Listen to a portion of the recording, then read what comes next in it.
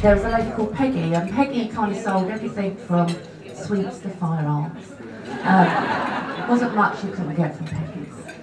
Anyway, Mum goes up to Peggy's and says, you know, Vanessa wants a pair of Dr. Martens, would you mind if, have you got a pair? Peggy's like, listen, I'll get my hands on a pair of Dr. Martens, no problem.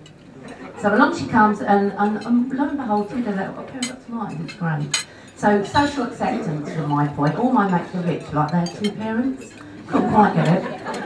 Um, but anyway, I had a pair of Dr. Martens and they were great. And I thought, lovely, look at my Dr. Martens, you know, they're so great. Until the rain come down. And as the rain come down, so did the dye of my Dr. Martens. Um, to reveal not only one grey shoe, but one blue shoe.